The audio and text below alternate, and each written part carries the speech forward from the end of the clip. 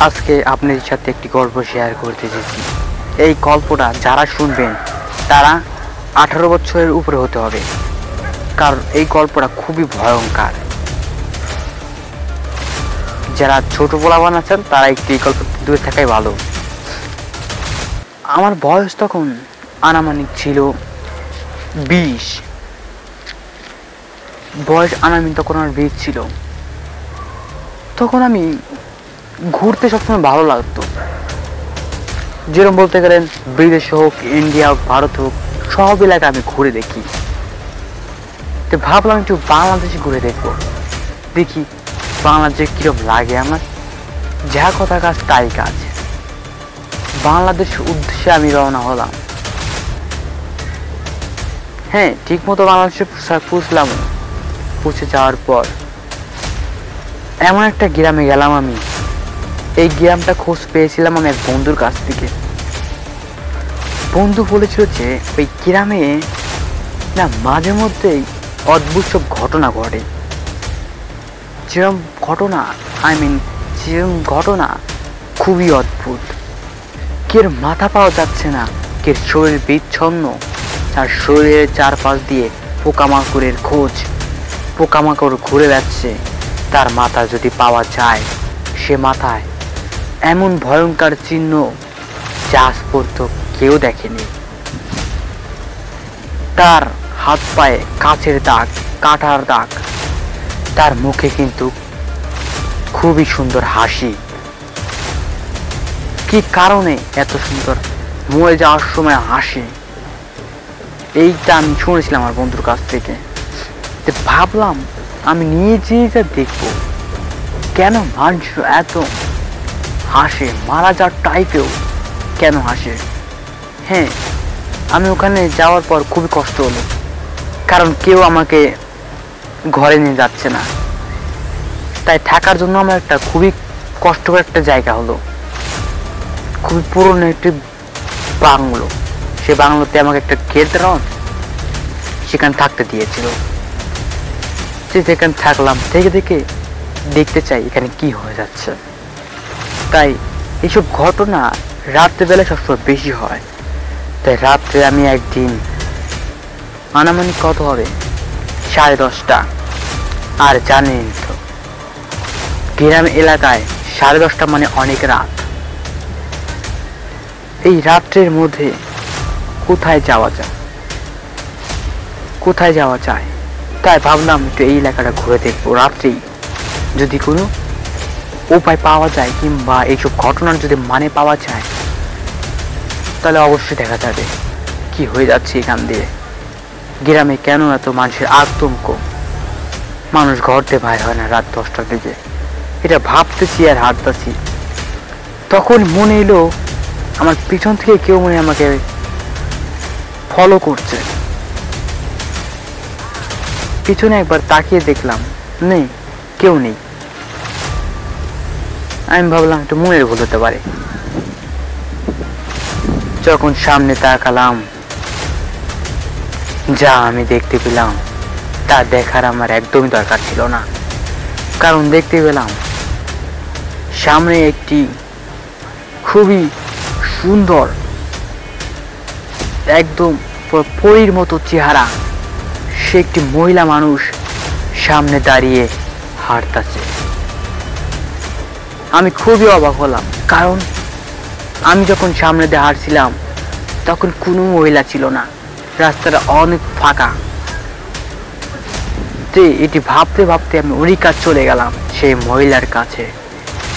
যাওয়ার কাজ বললাম আচ্ছা আপনি এত রাত্রে আপনি থাকেন কোথায়? পরে উনি যা বলল, যা আমার একদম কথা, বলাই আমার সাহায্য হচ্ছে না। উনি বলল, আমি শ্মশান ঘাটে থাকি। মানে? ক্লাবের নাম কি? আমার নাম, সেইটার নাম বলল রাখি। আপনি, আমি বললাম, আপনি কোথায় গিয়েছিলেন? সে কিছু বলল না। সে ধারা শুরু করল।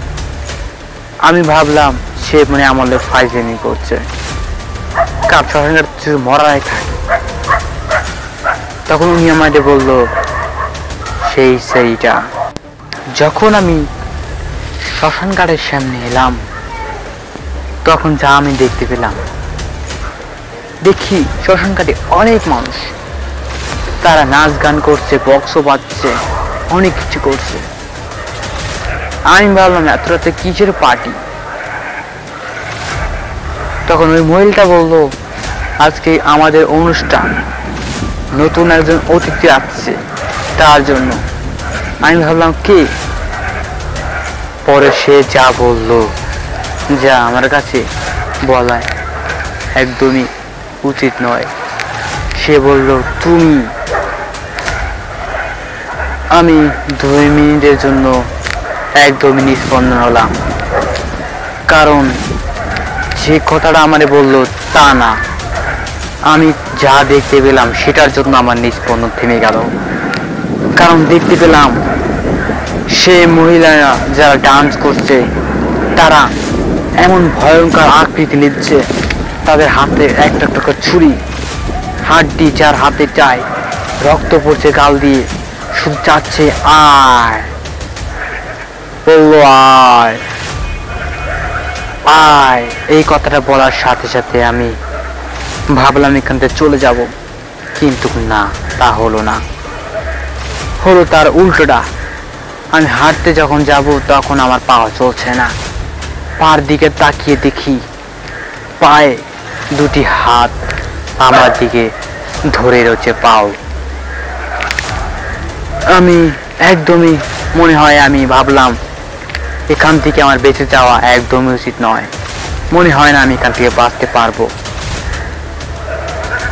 তেমনি আমাকে আরও তাও আমি ভাবলাম চেষ্টা করতে থাকি। পারতে পারি স্বাভাবিক ব্যাপার। তাও আমি হাঁটা দেখলাম, না, আমি উঠতে পারছি না, আমি লড়তে পারছি না পা ফেলাতে পারছি না। কি করা যায়?